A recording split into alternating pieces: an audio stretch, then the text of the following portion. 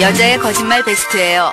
요즘 다른 남자가 자꾸 밥 직접대예요. 이 말은 여자가 요즘 밥 자신에게 관심 없는 남친에게 질투심을. 유발하고 싶을 때 하는 거짓말이에요. 이 말은 지금 너를 만나고 있지만 내 인기는 아직 죽지 않았으니 긴장하고 나에게 잘 좀 하길 바래 라는 뜻이에요. 오늘은 반드시 자신의 불타는 사랑을 고백하기로 맘먹은 남자가 여자의 집을 찾아가요. 당신에겐 턱없이 부족한 나지만.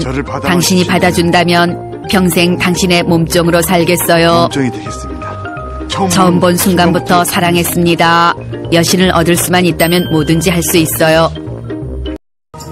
그 후, God, oh my God, oh my God. 모습에 충격을 받은 남자는 다리에 힘이 풀려 털썩 주저앉아요. 손발이 부들부들 떨리고 가슴이 터질 듯이 아파와요. 어느새 눈가에 눈물이 맺혀 흐르기 시작해요.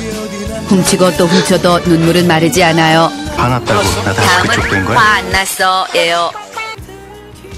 이 말은 여자가 머리끝까지 화가 났는데 남친이 화났어 라고 자꾸 물을 때 하는 분노의 거짓말이에요. 현재 여자의 분노 게이지는 폭발 일고 직전일 확률 1000%예요. 그러니 더 이상 화났어 라고 묻지 말고 화를 풀어주세요.